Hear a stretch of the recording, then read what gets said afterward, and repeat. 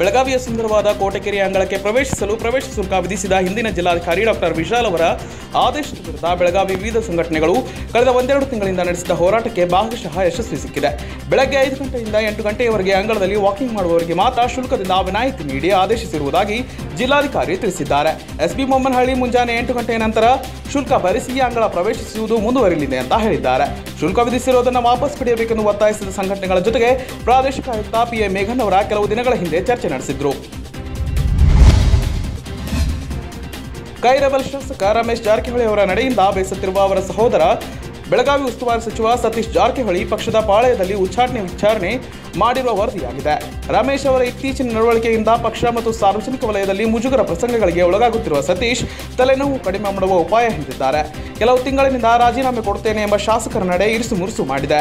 ಇದರಿಂದ ಪಕ್ಷಕ್ಕೂ ಡ್ಯಾಮೇಜ್ ಮತ್ತು ತಮ್ಮ ರಾಜಕೀಯ ಬೆಳವಣಿಗೆಗೂ ಡ್ಯಾಮೇಜ್ ಆಗುತ್ತಿರುವ ಹಿನ್ನೆಲೆಯಲ್ಲಿ ಡ್ಯಾಮೇಜ್ ಕಂಟ್ರೋಲ್ ಮಾಡಲು ಉಚ್ಚಾಟನೆ ಉಪಾಯ ನೀಡುತ್ತಾರೆ ಸತೀಶ್. ಮೋಜು ಮಸ್ತಿಯ ಪಡ್ಡೆಗಳಿಗೆ ಜೀವನ ಪಾಠ ನೀಡುವ ಮೂಲಕ ಶಿಸ್ತು, ಸಾಧುತ್ವ ಬೆಳೆಸಿಕೊಳ್ಳಲು ಶಾಸಕ ಅನಿಲ್ ಬೆನ್ಗೆ ಕರೆ ನೀಡಿದ್ದಾರೆ. ಕಳೆದ ಒಂದು ದಶಕದಲ್ಲಿ ಬೆಳಗಾವಿ ನಗರ ಹಾಗೂ ಜಿಲ್ಲೆಯ ಗಡಿಭಾಗದುದ್ದಕ್ಕೂ ನಡೆದ ಜಲ ಸಂಬಂಧಿ ಸಾವುಗಳ ಬಗ್ಗೆ ಖೇದ ವ್ಯಕ್ತಪಡಿಸಿದ್ದಾರೆ. ಮಳೆಗಾಲ ಬಂತೆಂದರೆ ಮೋಜು ಮಸ್ತಿಗಾಗಿ ಅಂಬೋಲಿ, ತಿಲಾರಿ, ಗೋಕಾಕ್ ಫಾಲ್ಸ್, ವಜ್ರಪುಹ ಫಾಲ್ಸ್, ಕಾಡು ಪ್ರದೇಶಗಳು ಹಾಗೂ ಇತರ ಪ್ರೇಕ್ಷಣೀಯ ಸ್ಥಳಗಳಿಗೆ ತಂದೆ ತಾಯಿಗೆ ಹೇಳದೆ ಕೇಳದೆ ಸ್ನೇಹಿತರ ಜೊತೆ ಹೋಗಿ ಪ್ರಾಣಾಪಾಯ ಮಾಡಿಕೊಳ್ಳುತ್ತಿರುವುದರ ಬಗ್ಗೆ ಶಾಸಕ ಅನಿಲ್ ಬೆನ್ಕೆ ಮರುಕ ವ್ಯಕ್ತಪಡಿಸಿದ್ದಾರೆ. ಶಿವಕುಮಾರ್ ದುರಂತ ಕೊಲೆ ನಡೆಸಿದರೂ ಸ್ಪಷ್ಟ ತನಿಖೆ ಆಗಿಲ್ಲ. ಆತ್ಮಹತ್ಯೆ ಹೆಸರಿನಲ್ಲಿ ಮುಚ್ಚು ಹಾಕುವ ಪ್ರಯತ್ನ ನಡೆದಿದೆ ಎಂದು ಶ್ರೀರಾಮ ಸೇನೆಯ ರಾಷ್ಟ್ರೀಯ ಅಧ್ಯಕ್ಷ ಪ್ರಮೋದ್ ಮುತಾಲಿಕ್ ಆಕ್ರೋಶ ಹೊರಹಾಕಿದ್ದಾರೆ. ಸುದ್ದಿಗೋಷ್ಠಿ ನಡೆಸಿದ ಅವರು, ಕರ್ನಾಟಕ ಸರ್ಕಾರ ಮತ್ತು ಜಿಲ್ಲಾಡಳಿತ ಪ್ರಕರಣ ಮುಚ್ಚಿ ಹಾಕುತ್ತಿದೆ.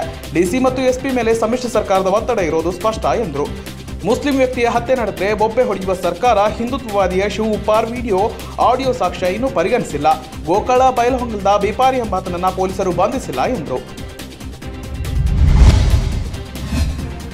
ನಾಲ್ಕು ದಿನಗಳ ಹಿಂದೆ ಕಾಣೆಯಾಗಿದ್ದ ಗೋಕಾಕ್ ನಗರಸಭೆಯ ದಕ್ಷ ಅಧಿಕಾರಿ ಸಂಜೀವ್ ಗಿಡದ ಹುಬ್ಬಳ್ಳಿಯವರ ಮೃತದೇಹ ಇಂದು ತುಂಬಿ ಹರಿಯುತ್ತಿದ್ದ ಗೋಕಾಕ್ ಫಾಲ್ಸ್ನಿಂದ ಹೊರತೆಗೆಯಲಾಗಿದೆ.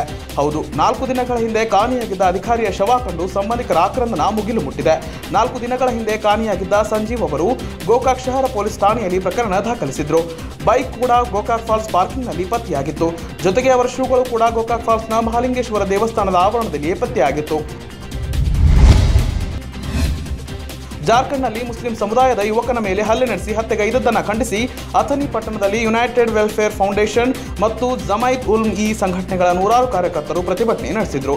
ಜಾರ್ಖಂಡ್ನಲ್ಲಿ ತಬ್ರೆ ಸಂಸಾರಿ ಎಂಬ ಯುವಕನಿಂದ ಒತ್ತಾಯಪೂರ್ವಕವಾಗಿ ಹಿಂದೂ ವಿರೋಧಿ ಘೋಷಣೆ ಕೂಗಿಸಿ ಆತನ ಮೇಲೆ ದೌರ್ಜನ್ಯ ನಡೆಸಿ ದೇಶದಲ್ಲಿ ಕೋಮುವಾದ ಸೃಷ್ಟಿಸಿದ ಕೆಲ ಕೆಳಗೇಡುಗಳು ದೇಶದಲ್ಲಿ ಅಶಾಂತಿ ಹುಟ್ಟಿಸುತ್ತಿದ್ದಾರೆ ಎಂದು ಮಾಜಿ ಶಾಸಕ ಶಹಜಹಾನ್ ಡೋಂಗರ್ಗಾಂವ್ ಆಕ್ರೋಶ ವ್ಯಕ್ತಪಡಿಸಿದರು.